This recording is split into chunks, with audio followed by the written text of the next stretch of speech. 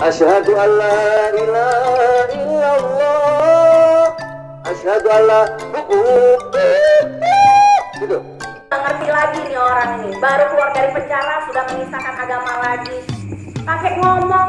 Gue masih tahu tuh artinya. Asyhadu an la ilaha ya dia ngomong begitu ya. Pakai bumbu-bumbu segala. Lu bilang apa? Lu bersaksi tiada bahwa tiada Tuhan selain bumbu ini nih yang namanya pencemaran yang ini.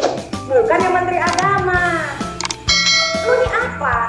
Kalau ceramah juga ngomongnya danco kalau ceramah ngomongnya kotor. Matamu bijak Ustadz ngomongnya kasar Nabi Muhammad saja nggak pernah kasar. Nggak masalah matamu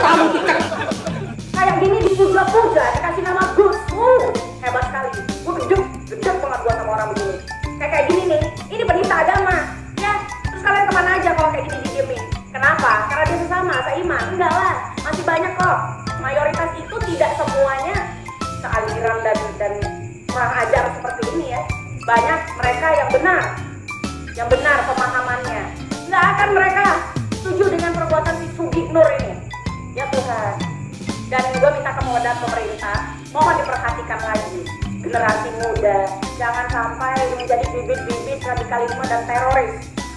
Jayalah Nusantaraku hidup NKRI